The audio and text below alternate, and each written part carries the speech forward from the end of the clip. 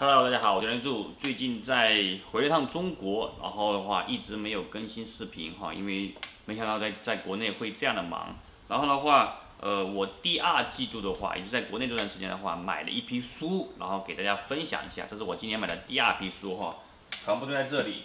其中呢，就有一本，就是我以前分享过一本刻意练习，但是那一本买错了。然后，所以我买了这本正版的刻意练习，我已经把它读完了。后期我会把它录成精读视频啊。第一本是刻意练习，然后的话，呃，买了一本 OKR 工作法。然后这本 OKR 工作法其实是跟这一本相对应的，也就这一本 KPI 呃关键绩效指标。其实这本书呃我是在呃天猫上看到的。为什么会买这本书？是因为我最近接触了也也，我以前在用 KPI，但是我最近接触了另外一种不同的 KPI 的思路，然后我才认识到，哎，感觉好像我对 KPI 的理解并不是这么深，对吧？然后我就去找了一本，这本是目前来说的话，销量啊评价都很高的，但是我不知道好不好，我会后期读了之后，呃，看一看这本书好还是不好，给大家精读。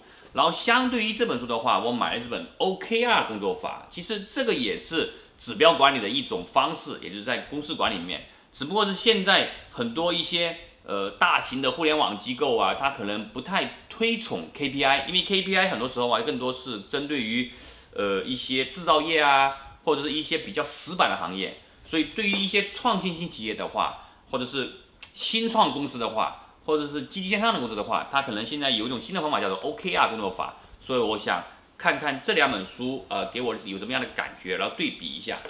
呃，第三本书是他人的力量啊，他人的力量主要是在讲一本呃人际关系的书，然后可能我觉得我在未来的半年到一年里面需要进一步的去提升我本身。并没有太多的与人交往的障碍啊，我跟人交朋友是很快的，但是我发现到呢，我不太擅长于维系关系，就是很很，我可以很快的认识一个人，也可以很快跟他结交结成朋友，但是没办法去 maintain 这种关系。然后相对于这本书的话，是这本书，呃，我与你，我与你，呃，这本书跟这本书其实有点类似，它这本书也是在讲人人人际关系的，是呃。我朋友推荐给我的，但是我不知道它好还是不好哈。我后期看了一下，呃，会给你介绍。据说这本书哈比较是一本偏哲学的书啊，有空我看了，我跟你分享，好吧？所以这两本书哈，呃，另外呢就是买了细节营销啊，这本书呃之所以会买，也是因为在那个樊登读书会上面听了这本书，然后。呃，我就觉得这本书可能跟我现在的话比较相关，因为他讲了 Four P Four 呃呃四 P 和四 C 嘛，然后四 P 四 C 的话，它是怎么结合起来去做做营销的？呃，我觉得可能我需要再重新温习一下，因为我以前也学过四 P 跟四 C，这可能它的理念不一样，好不好？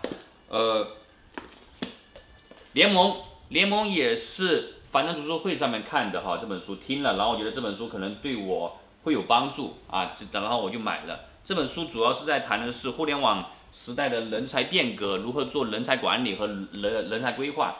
呃，你会发现到，其实我最近买的这些书哈，都是都是从樊登上面我听了的书上面拿过来的。那为什么我还要买呢？是因为，呃，第一个我觉得樊登的樊登内容内内容很好，但我个人会觉得哈，樊登每次在讲一本书的时候太啰嗦了。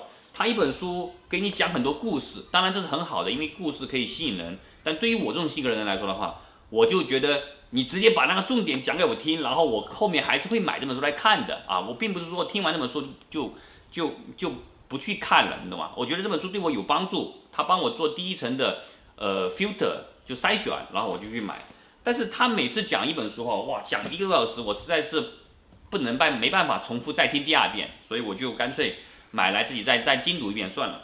然后终身成长啊，这本书的话。呃，是属于学习类的书籍啊。我最近看了刻意练习嘛，也看了呃那个刻意练习认知革命，对吧？就是，对吧？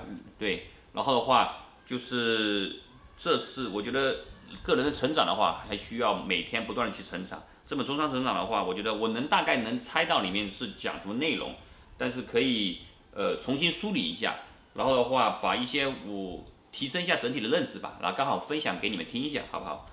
呃，最后一本书哈，让大象飞。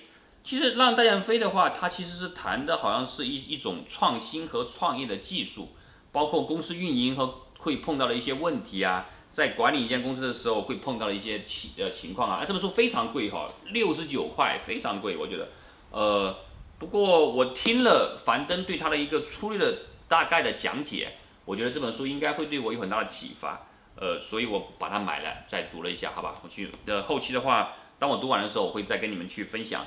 所以呢，总体来说的话，我的二季度的话，呃，在中国回国这一趟，总共是买了一二三四五六七八九本，九本书啊，九本书。呃，后期的话，我应该会着重去读这读这九九本书。如果你觉得有哪本书，呃，希望我先读，你可以让我知道，因为但是这本书哈，我已经读完了啊，我会马上录成视频跟大家分享。